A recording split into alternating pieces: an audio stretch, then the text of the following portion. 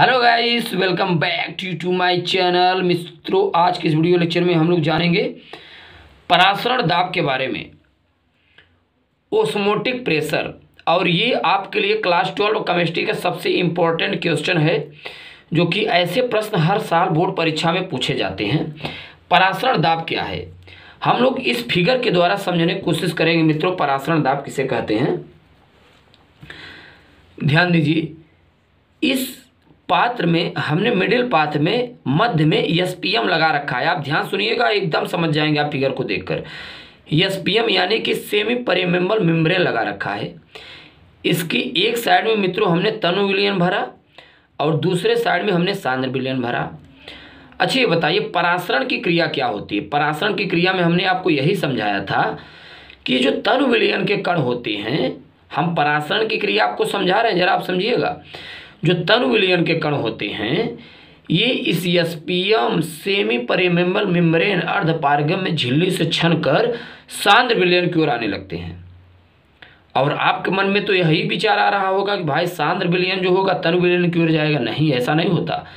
बल्कि मित्रों, तनु विलियन सांद्र विलियन की ओर आने लगता है। अच्छा ऐसा क्यों होता है? जरा आप समझिए। भाई, ये तनु विलियन है, ये पतला है। तो जब पतला है तो इसकी गतिज ऊर्जा अधिक होगी।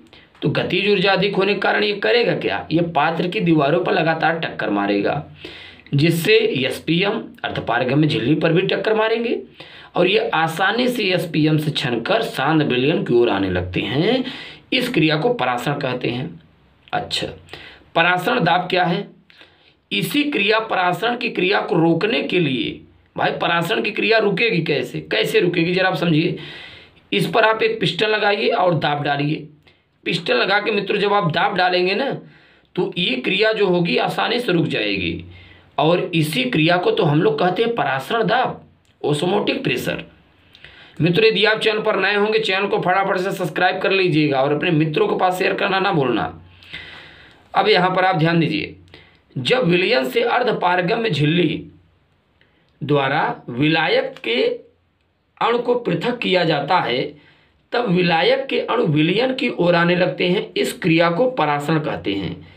तथा परासरण की क्रिया को रोकने के लिए विलयन पर जो अतिरिक्त दाब लगाना पड़ता है, इसी क्रिया को परासरण दाब कहते हैं। इसी क्रिया को मित्रों क्या कहते हैं? परासरण दाब कहते हैं। ये आप समझ पा रहे हैं। क्या कहते हैं मित्रों? परासरण दाब। तो ये सबसे इम्पोर्टेंट क्वेश्चन है, जो हर साल बोर्ड परीक्षा में पूछा जाता है। ऐसे क्वेश्चन आते हैं। तो आप देख पा रहे हैं, तीन मिनट के वीडियो में आप पराशरण दाब के बारे में समझ पाएँ। और फटाफट से इस चैनल को सब्सक्राइब कीजिएगा और अपने मित्रों के पास शेयर करना ना भूलना। धन्यवाद।